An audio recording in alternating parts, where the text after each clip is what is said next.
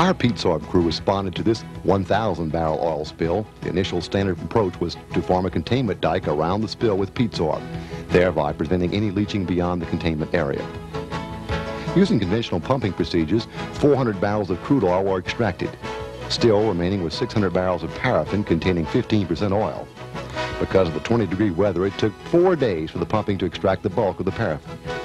Even after the fifth day, the peat sorb containment dike still prevented further contamination. At this point, enough paraffin was removed, leaving behind a hydrocarbon content, unable to be removed by conventional means. Late that afternoon, peat sorb was introduced to the site to begin the absorption of the marsh. Returning the next morning, the peat sorb crew was surprised. The applied peat sorb had already completely dried up the marsh site. We now elected to apply two or three inches more of organic peat sorb so friendly to the environment as a top dressing to the area. Daily monitoring of the spill site continued for the next month and thereafter. Here you can see the site one month later. No leaching has taken place. Heavy equipment leaving behind its noticeable tracks was able to transverse this once marshy area. No evidence of fish, game, or wildlife exhibited any adverse effects from the peat sorb applied to the marsh or to the water.